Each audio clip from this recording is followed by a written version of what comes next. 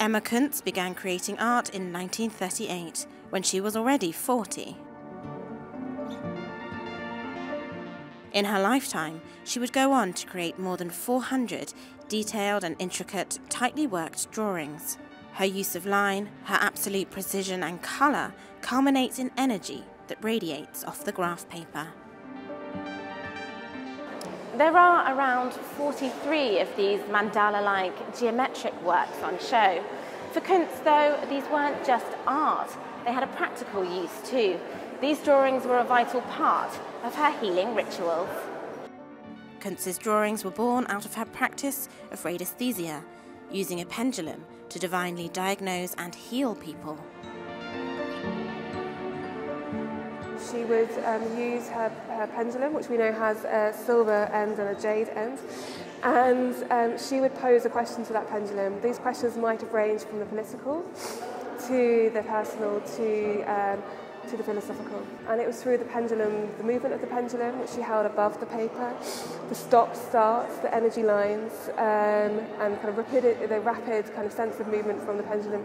It's from that in which she would plot the coordinates almost, the kind of the points and energy kind of points of the drawing.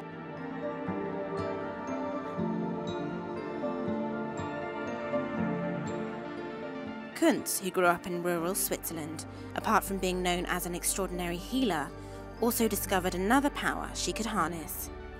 She's also famous for finding a type of rock called AION A, known for its healing qualities, which is still sold in Switzerland today. Artist Christodoulos Panayiotou, who co-curated the Serpentine exhibition, ended up using this material himself as part of the show. I ended up proposing this series of benches, which have a very peculiar uh, position. Uh, in the framework of the exhibition, they are somehow interrupted before becoming sculptures. I, I, I consider them as exhibition benches. And they are made with uh, this stone that Emma Kunz uh, found uh, in Würenlos and inscribed with specific uh, energetic power, naming it AION A.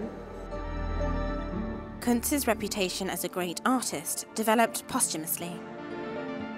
the drawing came from the pendulum, from the questions she asked. So each time it was so different, um, which I think is kind of very fascinating, especially for people who are kind of like myself, as a curator an art historian, who we're often kind of trained to think in a particular way that uh, there's a certain progression or development in an artist's practice, or they have a particular place within a canon of art history.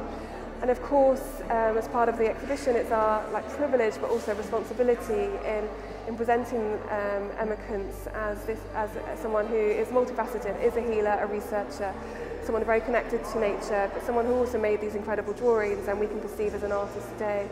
Looking at Kunz's drawings now, even in 2019, they still have a mystical aura and an energy. It's easy to see why she used them in her healing process. This retrospective shows Emma Kunz as a miraculous artist, ahead of her time, and a true visionary.